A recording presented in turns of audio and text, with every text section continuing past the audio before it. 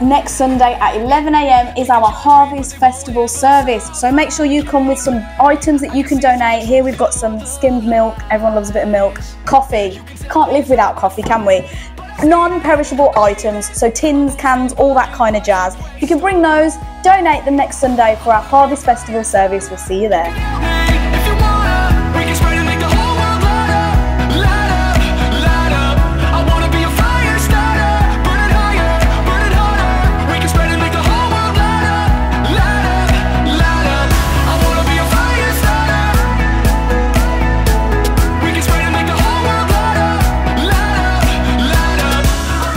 Guys, Operation Christmas Child is happening here at Excel Church where we get to fill up some shoe boxes for some kids to send around the world so they can hear the good news about Jesus. So we've got the boxes here, Dalu's holding it very well, and you can pick up one of these leaflets from the welcome desk. So come here after the service, pick up a box, pick up a leaflet, and it'll give you all the information you need to fill your shoebox for a child this Christmas.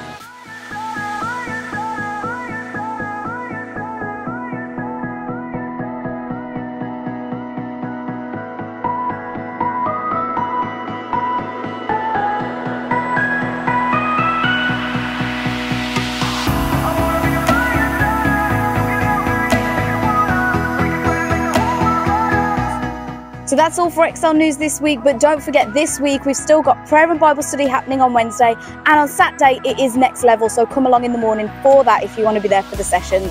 It's going to be a great one, I assume. So, guys, have a great week, and we'll see you next week.